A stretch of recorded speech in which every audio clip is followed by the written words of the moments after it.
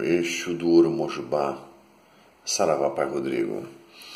É, ao lidar com a vibração do eixo do ouro, ficou mais perceptível em mim as minhas deficiências emocionais e financeiras. É, isso faz com que a gente reveja valores, atitudes, pensamentos. É, também é fácil de se perceber que a prosperidade nesse curso, né?